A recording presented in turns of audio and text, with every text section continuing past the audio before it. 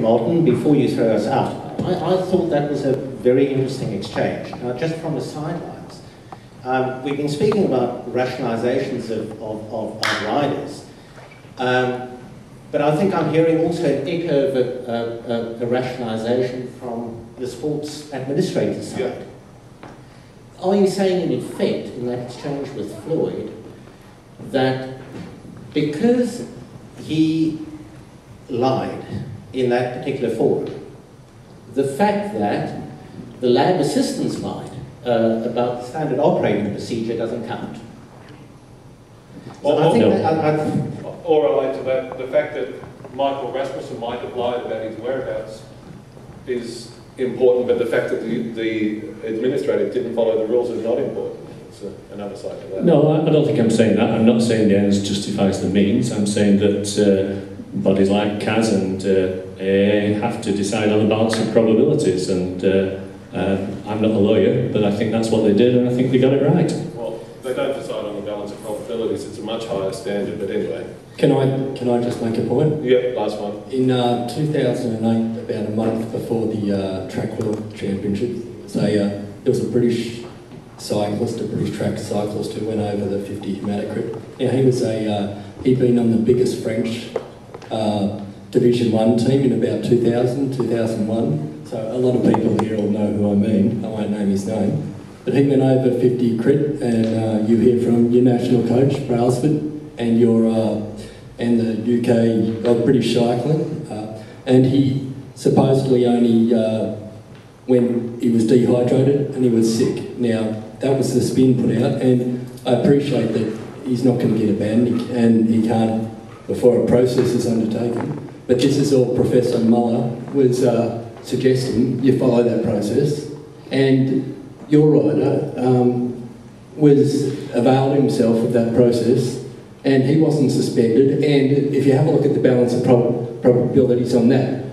going over there a 50% crit, there'll be an entire uh, longitudinal uh, numbers of his crit over the last 10 years since he was at that major French team. And you ask a haematologist about the percentage chance of him going over naturally, Dr. Ashenden can say here uh, what the percentage chance of him going over that national. Uh, and he, that guy wanted to make the Beijing Olympics. So, so uh, I think I think it's very difficult for you to say, uh, stand here and criticise Dr. Moeller when it was British Cycling in 2008 did something very similar, and you followed the processes and um, that rider was never sanctioned.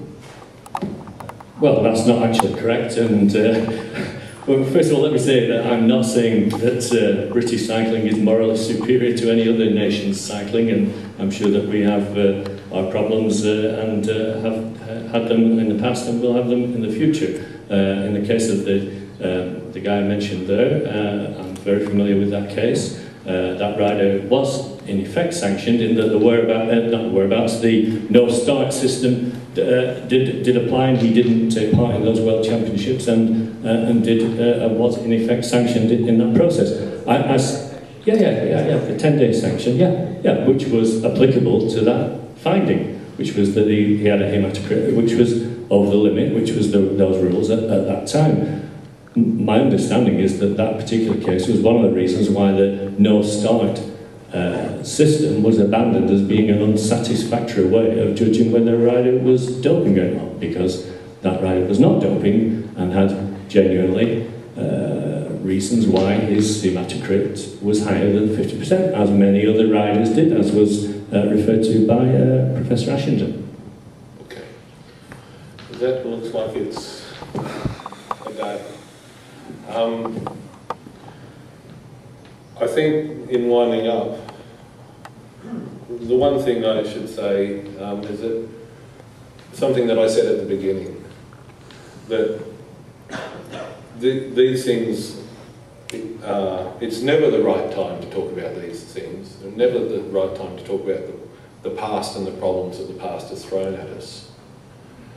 But what, and when we have raised problems that currently exist or have existed in the past, we haven't done it in a way or um, in order just to focus on the past and run down and talk about how bad things are. the point that we made at the beginning of all of this and the point that we, when we talked about the report, and it would have been nice if some people who wanted a quick media grab came for the report and everything as well, was that we need to understand the past in order to create a better future.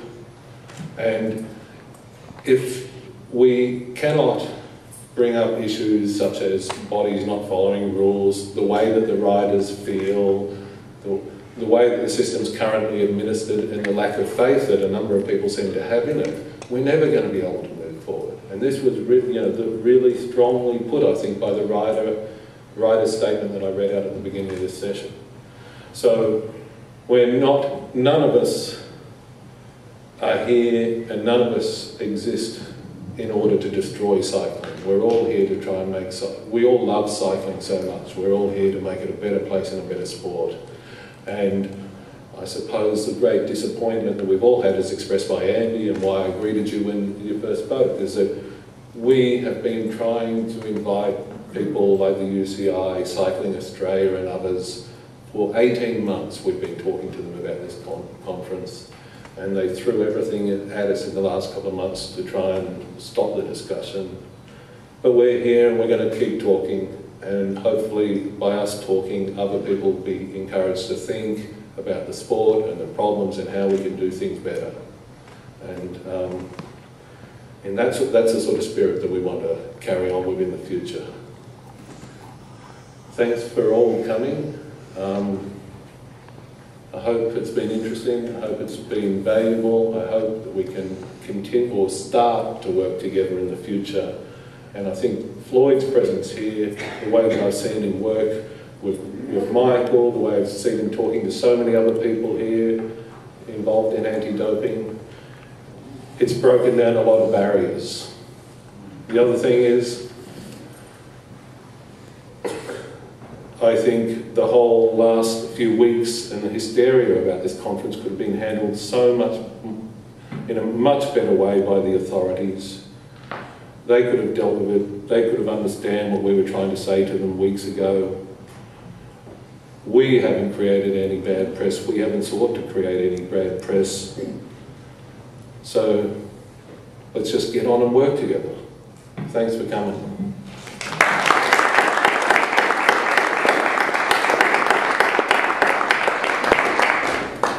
Can I just say on behalf of the audience, thank you very much, uh, Martin, and thank you, Michael Drapac, Dr. Ashenden, thank you, Floyd, thank you, Professor Moeller, thank you, Mr. Uh, Dr. Bozzi. thank you, Andy, um, thank you, Dr. Sassi, and